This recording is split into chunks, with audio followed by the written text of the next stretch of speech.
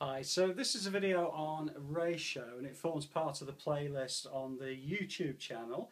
Um, it deals with a question which is around about D grade GCSE, so it should be fairly straightforward. Um, what I've mentioned before in the previous videos is that with all ratio questions, really we need to work out the value of one part in order to calculate a quantity. This is a slightly different way of putting together a question, and I'll write it in the description box just below, or you can have a look at mathswrap.co.uk and there is a post there on ratios, and you can have a go at the quick test and have a go at some of these problems for yourself.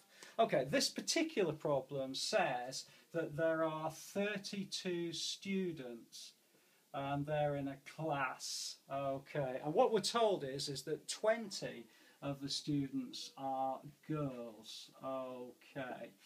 Um, so we've got 20 students are girls, 32 students altogether, and the question says basically that I think her name is Rosie. Rosie says that the ratio is 3 to 5. Okay, and the question is, is this correct? Alrighty, well let's have a look at that in a little bit more detail. We've got 32 students altogether and 20 of them are girls. Alrighty, so um, if 20 of them are girls, then what it means is, is that 12 of them must be boys. Okay, because if there's 32 altogether, then 20 girls means there must be 12 boys. So in other words, we've got a ratio of 12 to 20. So in other words, what we're asking for this question is, is that a simplified version of this?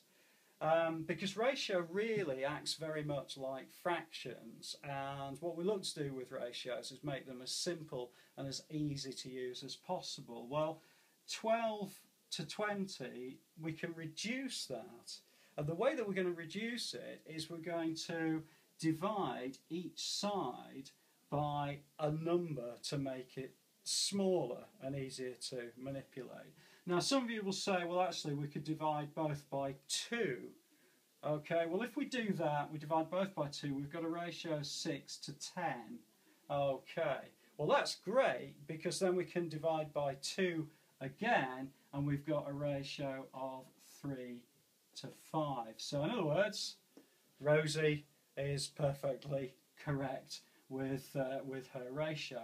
The other way you could have done it is you could have looked at 12 to 20 and you could have divided both sides by 4 so you're jumping out, you're missing out this middle step here which means if you divide 12 by 4 you get 3, if you divide 20 by 4 you get 5.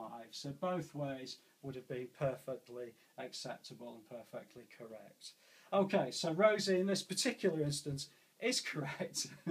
um, I hope that's okay for you. Please do have a look at the post on MathsWrap and please subscribe to the YouTube channel. Add a comment below and um, please do post, pin, tweet this video and I'll look forward to seeing you next time.